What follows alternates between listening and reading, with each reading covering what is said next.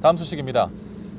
수도권 소재 대학에 진학한 도 출신 학생들을 위해 만든 향토 기숙사인 강원학사의 신축 이전 필요성이 제기되고 있습니다. 지은 지 30년이 넘어 학생들이 생활하기 불편한 데다가 건물 노후화로 시설 개보수 비만도 연간 수억 원이 들어가기 때문인데요. 신축 이전이 가능한지 김영기 기자가 취재했습니다. 충청북도가 재작년 초 신축한 충북학사 동서울관입니다. 충북 출신 대학생 330여 명이 생활하고 있는데 웬만한 오피스텔보다 시설이 좋습니다. 2인 1실에 깨끗한 룸은 기본이고 체력 단련실과 도서관, 휴게실에 정원도 갖추고 있습니다. 반면 1989년에 건립된 강원학사 관악관은 지은 지 30년이 넘다 보니 시설이 열악하기 짝이 없습니다. 에어컨도 방마다 설치돼 있지 않고 한 공간에 있는 화장실과 샤워실, 세탁기를 10명이 공동 사용하고 있습니다.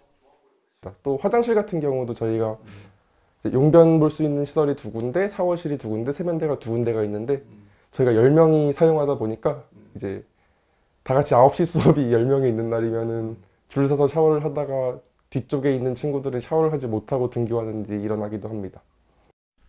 학생들의 생활 불편도 크지만 건물 노후화도 심각한 상황.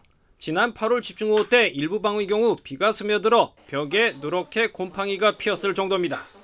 눈에 보이는 하자는 술이라도 하지만 벽체에 들어있는 상하수도공과 온수관, 전기시설 등은 언제 고장 날지 알 수도 없다고 합니다.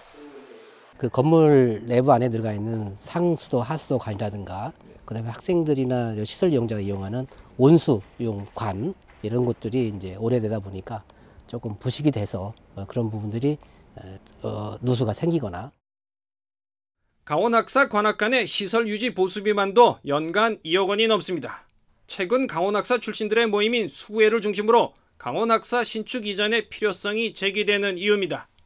관건은 예산인데 방법이 없지는 않습니다. 공시지가만 300억 원에 달하는 현 부지를 판돈해 부족한 공사비는 강원도와 18개 시군이 조금씩 십시일반하면 가능하다는 겁니다. 충북 학사의 경우 총 건립비로 456억 원이 들었는데 충북도와 11개 시군이 절반씩 부담한 것으로 확인됐습니다. 지원 뉴스 김현기입니다.